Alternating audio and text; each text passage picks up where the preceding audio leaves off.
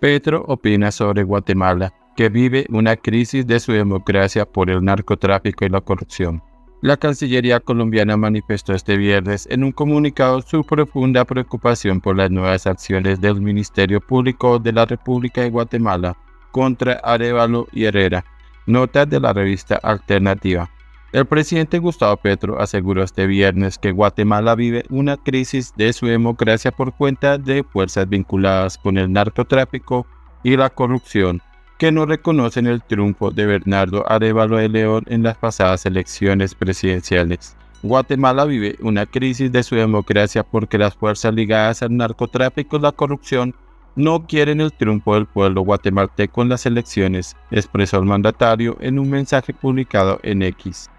Por eso dijo que Colombia exige que el mandato popular sea respetado y que tome posesión el presidente electo Bernardo Arevalo. El Ministerio Público Fiscalía de Guatemala afirmó el jueves que pedirá el retiro de la inmunidad para el presidente electo y la vicepresidenta Karin Herrera por un supuesto caso de daños contra el patrimonio de la Universidad Estatal. En una rueda de prensa, la Fiscalía acusó a Arevalo y Herrera de participar en 2022 en la toma a la fuerza del campus universitario, en rechazo a las elecciones celebradas ese año en la Casa de Estudios Superiores.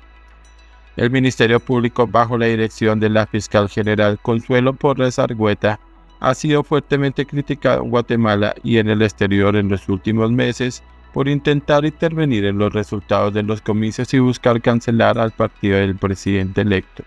Arevalo de León denunció públicamente desde el 1 de septiembre a Porras Argüeta de encabezar un intento de golpe de Estado en su contra para evitar que tome posesión de la presidencia el próximo 14 de enero. En ese sentido, la Cancillería colombiana manifestó este viernes en un comunicado su profunda preocupación por las nuevas acciones del Ministerio Público de la República de Guatemala contra Arevalo y Herrera, así como por los allanamientos y las órdenes de detención contra integrantes del partido Movimiento Semilla. Una vez más, Colombia hace un llamado a las autoridades judiciales guatemaltecas a respetar la decisión expresada por el pueblo a través de las urnas, así como un Estado de Derecho para asegurar una transición democrática que conduzca a que la posición de los elegidos se haga el 14 de enero de 2024, dentro del marco constitucional y legal, agregó la información.